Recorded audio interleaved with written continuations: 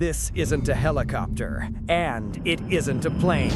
It's the V 280 Valor, the future of U.S. battlefield dominance. A tilt rotor beast that transforms midair for speed and agility. This monster hits over 280 knots, nearly double a Black Hawk. And with a range of 2,100 plus kilometers, it can strike deep behind enemy lines. Need rapid deployment? The Valor drops troops fast with side door insertions. And it's armed door guns, rockets, and recon systems built for modern warfare. Inside, next-gen avionics with digital flight controls make it nearly pilot-proof. Smart defense systems deploy countermeasures before the pilot even blinks. VTOL landing means it can drop anywhere. Mountains, rooftops, or deserts. The Bell V-280 Valor.